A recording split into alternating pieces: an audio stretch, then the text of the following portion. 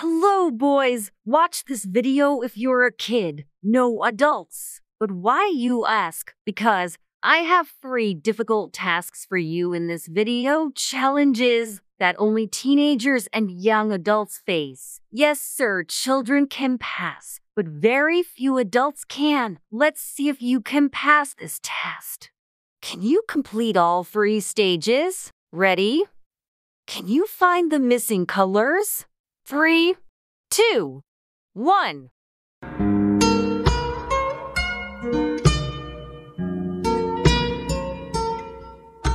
If you have guessed correctly, please like the video. Next challenge. Can you find the panda?